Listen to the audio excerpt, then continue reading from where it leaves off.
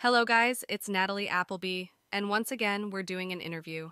I'm joined by my sisters Nicole and Breann, as usual. Today we will be talking to four current and former presidents about the presidential D&D campaign Nat is the DM for. Bill Clinton, Barack Obama, Donald Trump, and Joe Biden. You all are on air. How's it going? I'm doing well, fellas. Thank you for asking. So how's the production coming on episode 4? Uh, it's coming slowly but surely. Great things take time to perfect. What all do you guys look forward to seeing in the campaign? Well, I look forward to finding out more about the group the Hag mentioned from episode three. Hopefully, we learn more about them and the woman who's out for Donnie's character, Merlin. Hmm, I kind of hope we made a good impact on that bandit our characters spared in episode 3.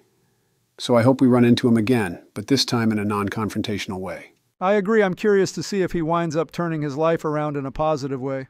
I hope he does. You Democrats are all softies. I believe in second chances, Donald. Anyways, I look forward to seeing what's in store for us in general. You know, whoever that woman is that's hunting my uh, character Merlin, I look forward to making her regret it. I would be careful what you wish for Donald. You don't know anything about her yet. Uh, what's that supposed to mean? Now I'm keeping an eye on you. You guys will find out as the campaign unfolds.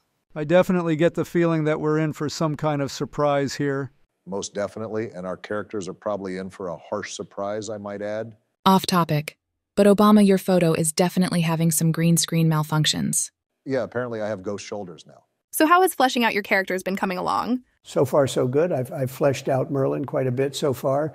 Uh, he has some past choices he regrets that I can't say right now. Um, but yeah, it'll be interesting to see how Natalie brings up those decisions in the campaign. Hmm, even I don't know what past regrets you're talking about.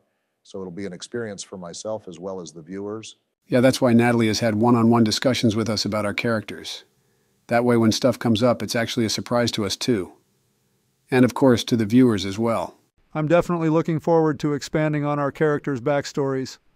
We've had discussions about doing character one shots for each character. We'll see what happens. I definitely have quite a few plans to work in your characters' histories, in the main campaign as well as the one shots you mentioned. Anyways, we should probably think about wrapping up this interview. All right, you ladies have a good one. You do the same. I will see you guys back in the campaign. And to everyone else, we hope you all have a great night or day. Thank you for watching this interview.